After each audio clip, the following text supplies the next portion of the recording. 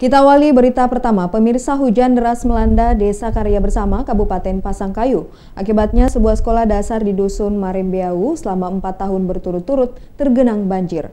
Bahkan pihak sekolah terpaksa membuat jembatan darurat menuju ke ruang kelas. Beginilah kondisi sebuah sekolah desa negeri di Dusun Marambeau, Desa Karya Bersama, Kabupaten Pasangkayu, Sulawesi Barat. Mirisnya selama empat tahun, sekolah ini telah menjadi langganan banjir. Kondisinya semakin diperparah akibat tingginya curah hujan di wilayah itu. Selain itu, pertemuan air hujan dan air pasang juga menjadi penyebab wilayah sekitar sekolah tergenang banjir. Menurut warga sekitar, kondisi sekolah dasar Marambeau sudah sangat memprihatinkan. Selain kondisi bangunan yang sudah terlihat rapuh, sekolah ini juga menjadi langganan banjir. Meski demikian, aktivitas belajar mengajar sebelum masa pandemi corona tetap berjalan walau berada dalam kondisi banjir.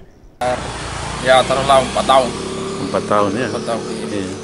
Kondisinya memang naik terus air kalau pas musim hujan. Kalau musim hujan naik, musim pas air pasang, pasang naik. Naik juga. Gitu. Iya.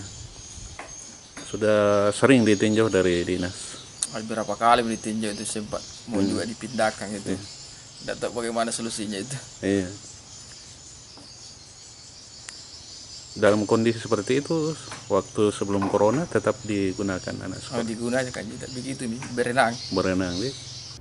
Pihak sekolah terpaksa membuat jembatan darurat yang terbuat dari bambu untuk menjadi akses jalan ke ruang kelas. Selain menggenangi sekolah, air juga meluap ke rumah-rumah penduduk, bahkan salah satu puskesmas pembantu atau pustu tidak lagi berfungsi karena terendam banjir. Dari Pasangkayu, Yunus Suparlin, iNews melaporkan.